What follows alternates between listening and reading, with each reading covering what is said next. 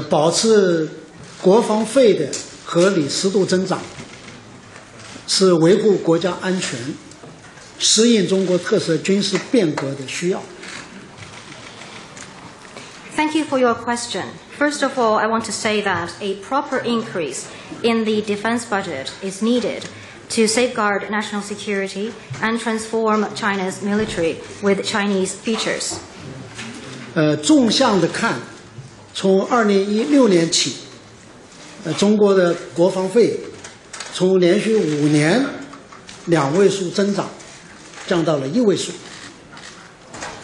我想这些这些比例你们都是非常清楚的。二零一八年中国的国防费占国内生产总值的比例约为百分之一点三，而同期呢，一些主要发达国家的国防费占国内生产总值的比例都在百分之二以上。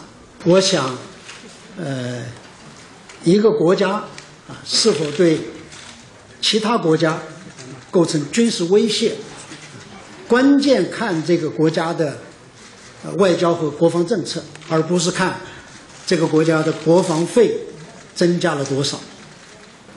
呃，中国始终坚持走和平发展道路，实行防御性的国防政策。